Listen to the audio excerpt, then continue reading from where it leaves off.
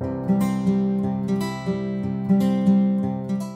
statistical data analysis. Statistical data analysis involves a systematic process of inspecting, collecting, cleaning, transforming, and modeling data with the goal of discovering some useful information.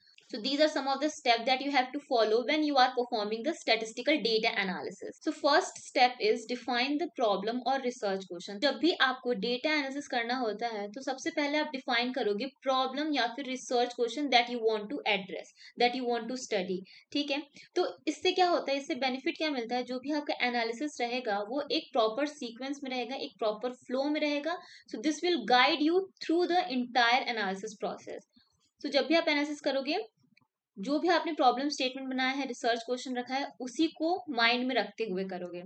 So this is the first step second is data collection अब problem define करने के बाद research question define करने के बाद, जो भी आपके एनालिसिस के लिए स्टडी के लिए रिक्वायर्ड डेटा है, आप उसको कलेक्ट करोगे। अब डेटा कलेक्शन आप कहीं से भी कर सकते हो सर्वे से एक्सपेरिमेंट से ऑब्जर्वेशन से even from the existing data sets third step is data cleaning अब डेटा क्लीनिंग भी बहुत इंपॉर्टेंट है क्योंकि कभी कभी हमारे पास जो डेटा कलेक्टेड होता है, वो रॉ डेटा सेट होता है और उसमें कुछ इनकन्सिस्टेंसीज होती है जिसको हमें रिमूव करना पड़ता है। तो जब हम डेटा क्लीन करेंगे, तब जाके हमें जो क्लीन डेटा मिलेगा, उस पर एनालिसिस परफॉर्म करते हैं। तो हमें राइट right रिज़ल्ट मिलते हैं एक्यूरेट रिज़ल्ट मिलते हैं।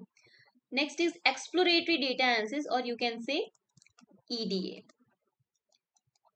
EDA is very important to understand the data अब जो डिस्क्रिप्टिव स्टैटिस्टिक्स हमने पढ़ा था वो आता है एक्सप्लोरेटरी डेटा एनालिसिस में। यहाँ पे आप पूरा डेटा को एक्सप्लोर करोगे अंडरस्टैंड करोगे जो भी समरी स्टैटिस्टिक्स रहेगा डेटा का वो देखो। सो so, इसी अंडरस्टैंडिंग के बेसिस पे नेक्स्ट स्टेप आपके एनालिसिस प्रोसेस में क्या होगा आप इसके डिसीज़न लेते हो। So EDA involve summary statistics visualisation identifying patterns और trends okay next is data transformation data transformation अगर आपका जो रिसर्च क्वेश्चन के बेसिस पे डेटा को ट्रांसफॉर्म करना नीडेड है तो आप डेटा ट्रांसफॉर्मेशन भी अप्लाई करोगे अपने डेटा सेट पे. So it can be so it can include normalisation standardisation या फिर जो कैटेगोरिकल वेरिएबल्स अगर आपके डेटा सेट में है तो उसे हैंडल करना उससे न्यूमेरिकल वेरिएबल्स में उससे इनकोड करना, ये सारी चीज़ें आती हैं आपकी डेटा ट्रांसफॉर्मेशन में. नेक्स्ट इज़ हाइपोथेसिस फॉर्मुलेशन अब जैसा आपने रिसर्च क्वेश्चन रखा है, उसके बेसिस पे आपको हाइपोथेसिस क्रिएट करना पड़ता है। यहाँ पे आप नल हाइपोथेसिस अल्टरनेट हाइपोथेसिस ये दोनों क्रिएट करोगे और डिफरेंट काइंड ऑफ़ टेस्ट से उसे टेस्ट करोगे कि आपका नल हाइपोथेसिस करेक्ट है या फिर alternate hypothesis next step is statistical testing जिसमें आप जो भी आपने हाइपोथेसिस क्रिएट किया है फॉर्मुलेट किया है, उसको आप टेस्ट करोगे। तो इसमें आपके मेजरली टेस्ट जो आ जाते हैं टी टेस्ट होता है जी टेस्ट होता है काई स्क्वायर टेस्ट है अनोवा टेस्ट है रिग्रेशन एनालिसिस ये सब जितने भी टेस्ट हैं हाइपोथेसिस क्या होता है ट्रांसफॉर्मेशन ईडी ये सारी चीज़ें हम आगे की वीडियोज़ में देखने वाले हैं।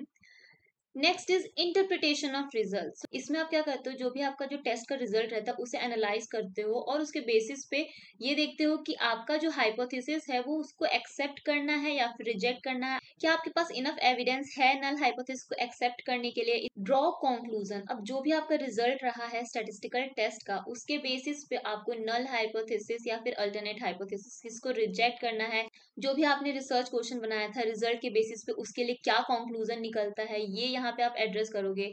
और लास्ट है document the analysis process and report making तो इसमें क्या है कि जो भी आप कंप्लीट फ़ेज़ यहाँ पे जितने भी आपके कंप्लीट स्टेप्स हैं, जो भी आप परफॉर्म कर रहे हो, आप उसके प्रोसेस को एनालिसिस प्रोसेस को पूरा डॉक्यूमेंट करो रिपोर्ट बनाओ, जो भी विजुअलाइजेशन है, जो भी कंक्लूजन है प्रॉब्लम स्टेटमेंट है हाइपोथेसिस है, ये सारी चीज़ें आप डॉक्यूमेंट करके रखो। This is the main step जहाँ पे अगर आपको शेयर भी करना होता है अपने एनालिसिस प्रोसेस को, आपने कंप्लीट प्रोसेस में क्या किया है, क्या हाइपोथेसिस था, किस तरीके से आपने सॉल्व किया, क्या आपका कंक्लूजन निकला, ये सारी चीज़ें आप रिपोर्ट के थ्रू भी शेयर कर सकते हो। जब भी आप कोई प्रोजेक्ट भी बनाते हो स्टेटिस्टिकल डेटा एनालिसिस पे तो आप एक रिपोर्ट अगर अलग से बनाते हो तो वो ज़्यादा वैल्यू होल्ड करता है as comparison to the code so यहाँ पे आपकी प्रेजेंटेशन स्किल्स भी दिखती है।